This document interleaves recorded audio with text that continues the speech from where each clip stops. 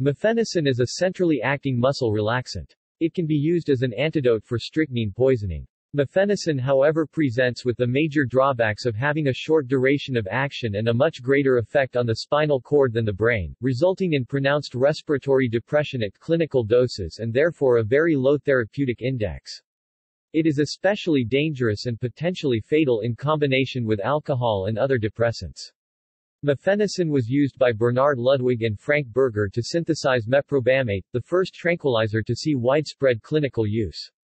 Mephenesin is no longer available in North America but is used in France, Italy and a few other countries. Its use has largely been replaced by the related drug methocarbamol, which is better absorbed. Mephenesin may be an NMDA receptor antagonist. See also Chlorphenesin Guaifenesin Mephenoxalone Methocarbamol External links Bachmeier C., Bloom L., Fleischer M., Duryea P., Cavane J., Imbert J. 1996. Severe contact dermatitis caused by mephenesin.